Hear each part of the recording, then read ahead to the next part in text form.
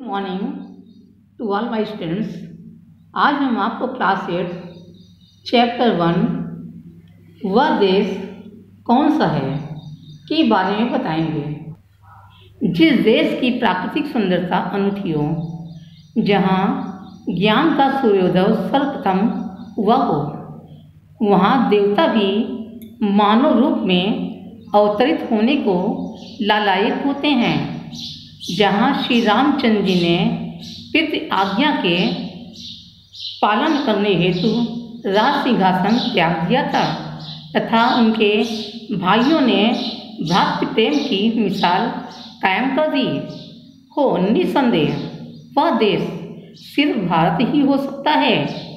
हमारा भारत संसार के श्रेष्ठ देशों में से एक है। भारत की संस्कृति महान है। यह विश्व का ज्ञान गुरु भी कहलाता है।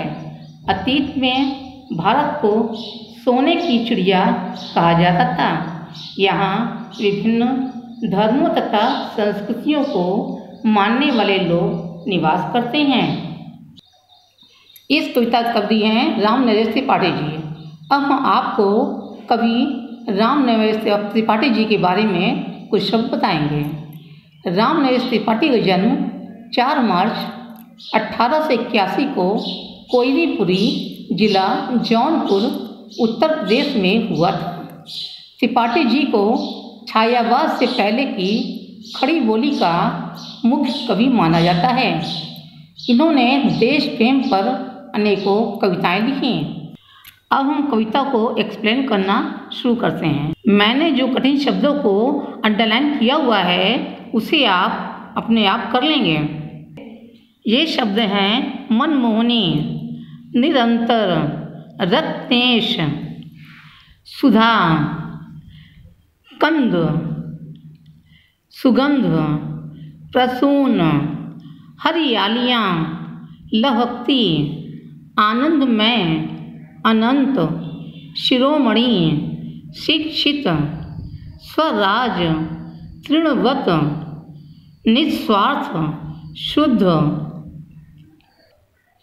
मनमोहनी प्रकृति की जो गोद में बसा है। सुख स्वर्ग सा जहाँ वह वह देश कौन सा है? जिसके चरण निरंतर रत्नेश धो रहा है जिसका मुकुट हिमालय, वह देश कौन सा है? जो मन को आकर्षित करने वाली प्रकृति की गोद में बसा हुआ है, जिसका प्राकृतिक सौंदर्य अतुलनीय है। जहाँ स्वर के समान सभी प्रकार के सुख वैभव की सामग्री विद्यमान है। ऐसा देश कौन सा है? सागर, जिसके चरणों पर निरंतर धो रहा है। अर्थात भारत के दक्षिण दिशा में सागर, जिसके चरणों को धोता है। हिमालय, जिसका मुकुट है। देश की उत्तर दिशा में हिमालय, इसका मुकुट है। ऐसा देश कौन सा है? नदियाँ जहाँ सुधा की धारा बहा रही हैं। सींचा हुआ सलोना, वह देश कौन सा?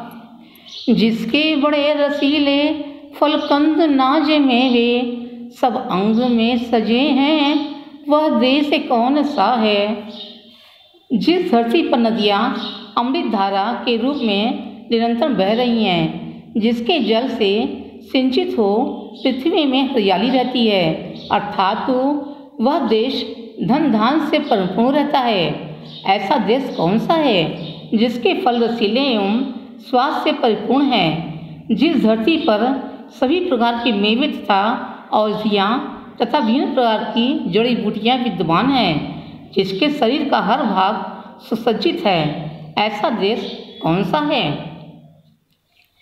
जिसके सुगंध वाले, सुंदर, प्रसून, प्यारे दिन रात हंस रहे हैं, वह देश कौन सा है? मैदान गिरी वनों में हरियालियाँ लहकती, आनंद में जहाँ है, वह देश कौन सा है? जिस धरती पर अपनी खुशबू को बिखेरते हुए विभिन्न प्रकार के पुष्प हैं, खिले हुए पुष्पों को देखकर हर किसी व्यक्ति का मन प्रसन्नचित हो जाता है। ऐसा लगता है कि ये पुष्प दिन रात हंस रहे हैं। ऐसा देश कौन सा है जिसके मैदानों, पर्वतों और वनों में सदैव हरियाली रहती है, जो देश आनंद से परिपूर्ण है? यहाँ सभी पर्व पूरे उत्साह के साथ मनाए जाते हैं। ऐसा देश कौन सा है जिसके अनंत धन से धरती भरी पड़ी है? संसार का शिरोमणि, वह देश कौन सा है? पृथ्वी निवासियों को जिसने प्रथम जगाया, शिक्षित किया, सुधारा, वह देश कौन सा है? जिस देश में अपार धन संपदा भरी हुई है, देश की धन संपदा से प्रभावित होकर ही यहाँ अनेकों विदेशी आए थे। ऐसा कौन सा देश है, जो भारत के मुकुट के समान शोभायमान है? हमारे देश के निवासियों में, जिसने नव जीवन का संचार किया है, अर्थात उन्हें अपने भावी जीवन के लिए जागृत किया, जिसने वेद, उपनिषदों, शून्य एवं गणना आदि सभी का पाठ पढ़ाकर उन्हें शिक्षित किया। ऐसा देश कौन सा है? छोड़ा स्वराज तृणवत आदेश से पिता के, वह राम था जहाँ पर वह देश कौन सा है? निस्वार्थ शुद्ध प्रेमी भाई भले जहाँ थे लक्ष्मण से भरत सरीखे वह देश कौन सा है? जहाँ अपने पिता के आदर्शों का पालन करने के लिए अपने देश को तिनके के समान तुच्छ समझकर छोड़ दिया, वह श्री रामचंद्र जी थे, जिन्होंने अपने पिता का आज्ञा का पालन करने के लिए राज सिंहासन को त्याग दिया था। ऐसा देश कौन सा है? जहाँ श्री रामचंद्र जी के भाइयों ने अपने बड़े भाई के प्रेम से अभिभूत होकर स्वयं भी राज सिंहासन को त्याग कर भातृ भातृ प्रेम की मिसाल कायम की, जहाँ लक्ष्मण और भरत के समान भाई थे, जिन्होंने सदैव ही अपने भाई की आज्ञा का पालन किया था। ऐसा देश कौन सा है? निष्पक्ष आज्ञाकारी जना जो पढ़े लिखे हैं, वे सब बता सकेंगे, वह देश कौन सा है? छत्तीस कोटि भाई, सेवक सपूत जिसके भारत सिवाय दूजा, वह देश कौन सा है? जहाँ निष्पक्ष रूप से न्याय करने वाले पढ़े लिखे लोग हैं, ऐसे शिक्षित लोग ही हमें यह बताएँगे कि ऐसा देश कौन सा है? ऐसा देश हमारा भारत है, जिस देश में छत्तीस करोड़ भाई, सेवक और आज्ञाकारी पुत्र हैं, ऐसा देश भारत के अतिरिक्त और कोई दूसरा हो ही नहीं सकता। अर्थात ऐसा देश हमारा भारत ही है। आपका होमवर्क अभ्यास अभ्यासकार दो और तीन। पेज नंबर एट इस चैप्टर के प्रश्न उत्तर और अभ्यास अभ्यासकार आपको दे जा चुके हैं। बस इतना ही। धन्यवाद।